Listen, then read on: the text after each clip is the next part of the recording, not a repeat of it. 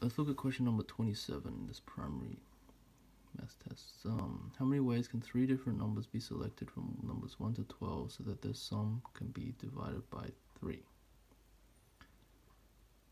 Okay, so here's one that's not so scary because it seems like you only have 12 numbers and you're choosing three of them.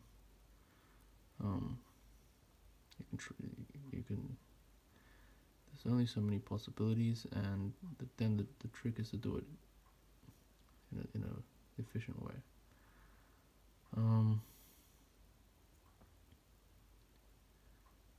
yeah, so for this one, I think it's nice to consider the numbers 1 to 12 as grouped by their remainders when you divide by 3. Um, so, say this, you have, so you have the numbers 1, 2, 3, okay. And then I've grouped 4 with 1 because they both have remainder 1 when you divide by 12. 5 with 2. 6 there. 7, 8, 9, 10, 11, 12. So these all have remainders 1, remainder 2, and this is remainder 3 or 0. Okay? So if you want the sum to be reduced by 3, okay? You could pick three things from each from from just one of the columns because then the remainders will just be times by three. So you get remainder three remainder six or still remainder zero. Okay so that'll work. But if you go from one to the other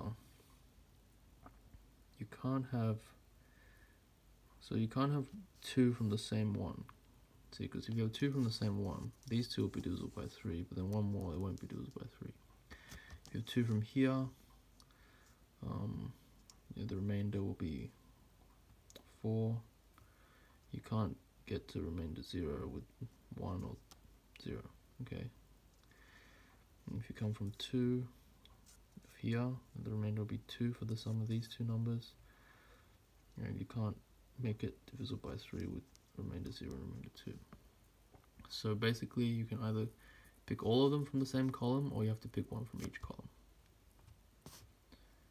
And if you do that, um, you know, there's four ways to pick three numbers from four numbers because it's the same as the four ways of leaving out the fourth number. So from the same column, there's 12 ways. 4 plus 4 plus 4. If you pick them from different columns, well, there's four numbers to choose from for each column and they're independent. Hmm. So it's 4 times 4 times 4, which is 64. So then the total will be 76. Oh, I wrote that 6 funny. Okay, cool.